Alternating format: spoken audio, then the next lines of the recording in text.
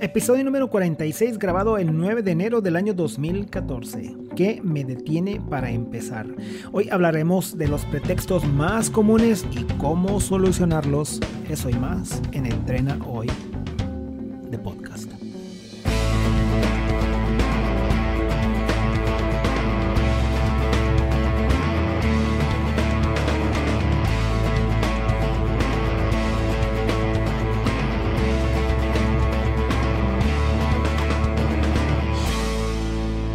Bienvenidos a un episodio más de Entrena Hoy el podcast. Yo soy César Otilo, transmitiendo desde la tundra de Nueva Inglaterra. Y yo, Alan Guerra, saludándolos desde Chihuahua, también con un clima muy extremo. Está haciendo mucho frío. Hacía, hacía bastante tiempo aquí en el área, obviamente yo no, hace 100 años no estábamos aquí, ¿verdad? Pero hace 100 años estaba haciendo el frío que está haciendo hoy. Es, es es, fuerte. No, no dejamos de entrenar, ¿eh? por cierto, antes de, empezar. ayer fui a correr, Alan, y se me congeló el sudor. ¿Cómo, cómo estará de frío? el clima está, está muy agradable para hacer deporte porque cuando terminas se te quita el frío, eso sí. Ah, Aquí también empezamos a entrenar a menos 3 grados y ya cuando terminas, terminas a gusto.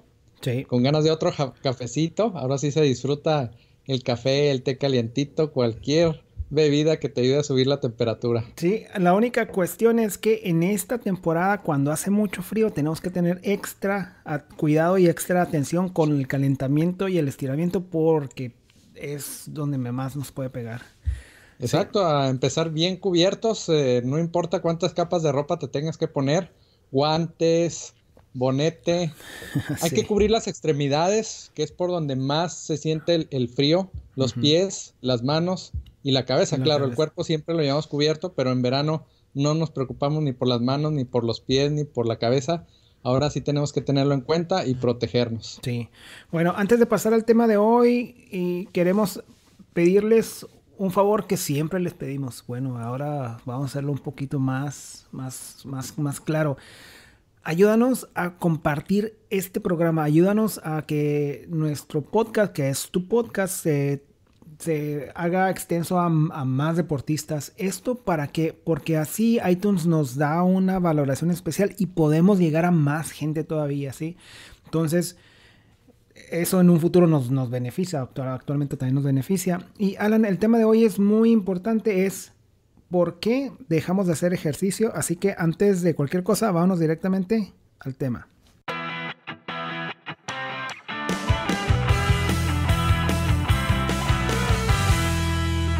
Muy bien, Alan. Hablando de las excusas por qué no vamos a entrenar, hay miles, hay bastantes. O sea, podemos encontrar muchas excusas por las cuales no. El tema de hoy es importante. ¿Por qué? Porque lo primero que tenemos que hacer es identificar la situación en la que estamos. Y, déjame, te comento y les comento cuál es la, cuál, qué, cuál fue mi experiencia. En mi caso fue uno, lo que llaman parálisis por análisis. Ya, ya había tomado la decisión. O sea, ya sabía que quería hacer deporte. Ya había eh, avisado a todo mundo y no empezaba a hacer deporte porque sentía que algo me faltaba.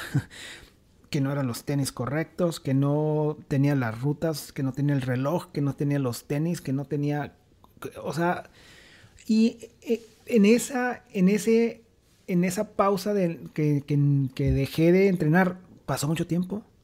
Pasó mucho tiempo sin, sin, sin haber entrenado y es por eso que la parálisis por análisis es no hay que tener cuidado y, poder identificar que estás en, ese, en esa situación. En tu caso, Alan, ¿Cómo, has encontrado la experiencia con tus alumnas? Mira, este, la identificas en todas las etapas. Eh, pasa con quien hace su propósito de empezar a hacer ejercicio y lo primero que empieza a encontrar es eh, muchas interrogantes. Eh, híjole, ¿cómo voy a combinar mi trabajo? ¿Con qué ropa voy a correr? ¿A dónde voy a ir? Inclusive hasta el calendario te hace que no empieces a entrenar. ¿Por qué? porque dicen, no, ya estoy a día 5, a día 10, mejor no espero a que empiece el otro mes para empezar con el día primero, como si el ejercicio dependiera de, del calendario, ¿entiendes? sí. Son cosas ilógicas, pero que por estar analizando cuestiones, o no sé si son eh, pretextos o excusas para retrasar un poquito, por el miedo que te da a veces de que si lo iré a hacer bien, de que si me voy a cansar. Pero te digo, hasta el calendario te detiene para empezar. Y acuérdense que siempre les decimos, hoy es, el día, para, entrenar. No importa si es día 5, si es día 10, si la quincena aún no llega. Para correr no necesitas tener este dinero en la cuenta. Para nada. Simplemente ponerte tus tenis y como les hemos comentado muchas veces, para empezar a hacer ejercicio ni siquiera necesitas un entrenador. Simple y sencillamente empieza a hacer desde tu trabajo, camina un poco más, empieza a activarte. Y bueno, ya que lo tienes decidido, ya que dices mañana empiezo, resulta que ese día eh, no encontraste tus tenis, el despertador dices que no sonó, que no lo escuchaste. En fin, me ha tocado infinidad. Y fíjate, eh, tengo alumnas que me han dicho, mañana empiezo, este, ¿a qué horas nos vemos? No llegaron al entrenamiento y luego les hablo, estamos aquí en tal lado, ah, es que fíjate que no, no escuché el despertador, eh, no encontré los tenis, no encontré una chamarra o mis guantes con los que iba a correr, pero ya para la otra regreso y con ese pretexto ya se va un mes, dice, no, pues ya pasó un mes, mejor me espero un poquito más y va retrasando este tu entrenamiento por, por estar analizando cuestiones que, que no tiene nada que ver con el, con el deporte. Entonces, hay que prevenir todo eso. Ya que decidiste que ahora voy a empezar, bueno, desde un día antes hay que dejar todo preparado, como les comentamos. Prepara tus tenis, la ropa con la que vas a correr. Y muy importante, cuando vas a empezar a despertarte más temprano, hay que dormirse más temprano. Esa es la clave. Si te acuestas a la misma hora o un poquito más tarde, vas a batear para levantarte. Entonces, desde la noche. Sí, ahora, ok, ya, ya sabemos de qué estamos hablando ahora. ¿Cómo le vamos a hacer para poder solucionar esta, esta situación? Ok, ahí les va en cuestión personal cómo es. Tres, tres puntos. Primero, lo que está en movimiento tiende a seguir en movimiento y lo que está estacionado tiende a seguir estacionado. Si tú en ese momento cuando dices voy a correr, dices voy a correr y no te levantas del asiento o no te levantas de la cama o no, ahí te vas a quedar ahí te vas a quedar.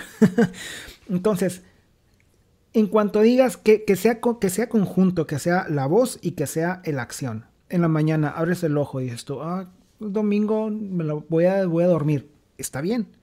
Pero si dices, es domingo, me voy a despertar y voy a correr, en ese momento, en los primeros dos, tres segundos, órale, te levantas y en contra, a veces en contra de tu voluntad. Dices tú, no, ¿cómo no? O sea, es, es como si separáramos el cuerpo, ¿no? El cuerpo ya le diste una orden, corre. Pero tu mente al mismo tiempo dice, mejor no. Entonces, punto número uno es acción, acción. Sí, o sea, Esos cinco segundos o diez a veces que nos queremos dar o minutos, eh, conozco amigos que se, se, han convertido en años. Exactamente. Habían quedado a empezar y sonó el despertador híjole, otro, otro ratito y ese ratito de unos segundos se va a minutos y ya cuando quieres ya se te pasó el tiempo y así se te va un día tras otro. Entonces, exacto, como dices tú, dijiste, hoy empiezo y sin pensarla, timbre el despertador y vas para arriba. Te va a costar más trabajo si te quedas acostado y la sigues pensando y, y sigues buscando pretextos. Sí, sí, no, definitivamente. Ahora, mi segundo consejo y que es súper importante. Anótalo donde lo puedas encontrar fácilmente. Por ejemplo, ya te levantaste, ya, se, ya, ya te pusiste los tenis y, luego, ahora lo que sigue es correr lo que tienes que hacer. Entonces, para poder seguir con, con, el entrenamiento, tienes que tenerlo. En mi caso, yo lo tengo en la puerta. O sea, cuando voy a salir a correr, en lo que me estoy poniendo mi equipo, tengo una hojita con, con, con lo que me toca correr hoy tengo, lo tengo siempre ahí, o sea, en cuanto llego le pongo una palomita o le pongo una tachita. Entonces, ¿qué es lo que puedes hacer? Es, primero, tom, tenlo a la mano, o sea, apúntalo. Y luego, segundo, tenlo a la mano. O sea, son, son mis, mis dos primeros consejos. Ahora, también ayuda un poco comentarlo, los que están casados o estamos casados, comentarlo con tu pareja. Y si le voy a empezar, ayúdame en la mañana. Si digo que mejor otro día, este, recuérdame que yo te pedí que me obligaras a ir prácticamente. Eso a veces ayuda porque también hay veces que tu pareja te dice, bueno, pues espérate, hombre, mañana empiezas y, y lo vas dejando. Entonces, si le pediste a alguien que te ayudara o algún amigo, sobre todo si vas a empezar a correr en, grupo, como les hemos recomendado muchas veces, dile a tu amigo, si no te he llamado para tal hora o no te, este, o no estoy listo, o es la primera vez, ¿sabes qué? Échame una llamadita. Igual tú, si vas a invitar a alguien a, correr, dile, ¿sabes qué? Te voy a llamar a tal hora, nada más para verificar que ya estás listo, así es que prepárate. El tener a alguien, el saber que alguien eh, te está esperando para correr, eso te va a obligar a comprometer un poco más. Sí. Bueno, y mi tercer consejo, ahí les va. El primero fue, son la decisión de los cinco segundos. Órale, te levantas y vámonos en caliente. La segunda es, ya que estás, ya que estás de pie, ¿a dónde? ¿A dónde voy? Y el tercero que es, es, es, a lo mejor es un poco egoísta, es una recompensa. Fíjate una meta y fíjate una recompensa para esa meta. Por ejemplo, dices tú, esta semana voy a correr 22 kilómetros. Sí, o sea, esa es mi meta. Y cuando, cuando, cuando, las, estás, cuando las estás escribiendo, dices tú, ah, 22, kilómetros, muy bien, ¿cuál va a ser mi meta? Ahí mismo, la, ahí mismo lo escribes. Mi meta va a ser, me voy a comprar una cerveza, en mi caso, me voy a comprar una cerveza que es de edición especial, ya es que me encanta la cerveza. Una cerveza de edición especial que es de temporada y es local. Y pues la verdad no está nada barata, pero dije, si no corro los 25 kilómetros, no me compro mi cerveza de, celebración, es una, es una, botella. Y ese, es un ejemplo en mi caso, ¿verdad? O sea, cada, cada quien se podrá comprar, no sé, un, una, una, una tarjeta de iTunes o algo, ¿no? Algo personal. Entonces, ese sería mi tercer consejo. Fíjate una recompensa. Sí, hemos hablado también mucho de que eh, para poder mejorar y para conseguir esa motivación, eh, cada quien tiene que encontrar este, sus propios motivos. Y como dices tú, si le pones además una recompensa, pues esto se va a volver eh, más fácil de lograr, más fácil de salir de la cama, más fácil de, activarte y de mantenerte. El, chiste también es que cuando logres esa meta, inmediatamente te pongas otra, porque ahí es cuando vienen a veces las recaídas y volvemos a la parálisis por análisis, porque dices, bueno, ya cumplí esto, me voy a dar una semana de descanso y volvemos otra vez a caer. Entonces, no, inmediatamente una meta un poquito más grande, que sea alcanzable, que sea fácil de lograr, pero que sea algo superior a lo que ya habías hecho. Y, también a corto plazo, eh, tampoco te tienes que ir, ya corrí mis 5K y ahora me voy a entrar un maratón, o sea, no, o sea, todo es, va, por pasos, ¿no? un paso tras otro. Bueno, estos fueron nuestros consejos rápidos de, para, poder vencer la, energía negativa o los pensamientos negativos que te impiden hacer todo tu, ejercicio. Últimos pensamientos, Alan, con respecto al tema. Pues sí, que no lo analicen mucho. Entre más lo analizas, este, más te tardas para entrenar. Toma la decisión y empieza a hacer desde este momento. Ya te digo, eh, el, ejercicio se empieza a hacer paso a paso, empieza caminando más de lo que has hecho ayer, activándote de una u otra manera y no pienses eh, diferentes excusas. Sí, es, la parálisis por análisis, hay que eliminarla del, de, nuestra vida. Ahora, mi consejo es, ese, es eso, levántate, toma la decisión, anótalo y ponte una recompensa. Alan, tus datos. Ah, mi correo, alan arroba entrenahoy.com. César arroba entrenahoy.com. Estamos haciendo experimentos en, con, nuestro sistema de entrenamientos. Muy pronto, ya, muy pronto vamos a tener ya la. Ahorita estamos en prueba beta. Si te interesa, si te interesa participar en, este tipo de, experimento que estamos, estamos haciendo, escríbenos y te mandamos los entrenamientos a ver cómo los, sientes y a ver cómo sientes la interacción con la página también.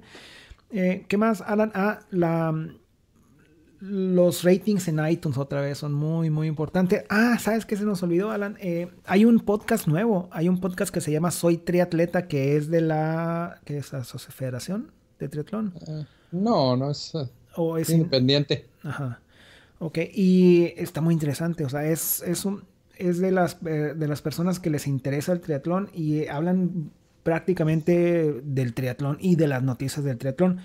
Está muy dinámico, tienen invitados en, el, en, el, estudio y está muy entretenido, la verdad, tienen muy, muy buena información. ¿Lo has escuchado, Alan? Sí, sí, la verdad es que sí, lo seguía desde hace tiempo en, en la página de Facebook y ahora los encontré también en, en iTunes, así es que más información para todo el que quiera hacer deporte, recuerden, ahí ya en internet puedes encontrar todo tipo de consejos y hay que aprovechar toda la ayuda que nos dan este tipo de programas. sí, y si tú nos escuchas y tienes un programa o una página o algo que esté relacionado que quieras promocionar, estamos a la orden. Bueno, eso fue nuestro episodio de hoy. A parálisis por análisis, no, una, gran tacha. Y no nos queda más que despedirnos y decirnos que hoy es el día para entrenar. Nos vemos la próxima semana.